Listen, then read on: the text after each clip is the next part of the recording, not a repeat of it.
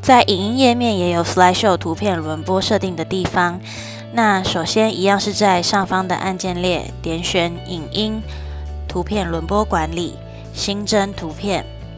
而这里的图片大小一样是要一一七零乘以三四四的大小会刚刚的好。如果不知道如何转换大小格式，我们会有另外的图片转档设定教学影片，有详细的介绍。按下新增图片之后，会看到以下的画面。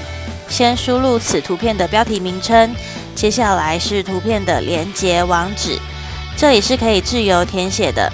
当你填入连接网址的时候，使用者在手机端若点下图片，就会自动导入到你所填入的网址页面。再来就是从档案选择你所要上传的图片，好了之后可以设定图片的时效，填入开始和结束的时间。那在这边状态也是有三种模式可以选择：发布、草稿以及库存，随时都可以做修改。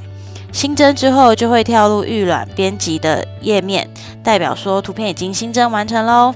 确定后按上方的图片清单就回到上一页完成了。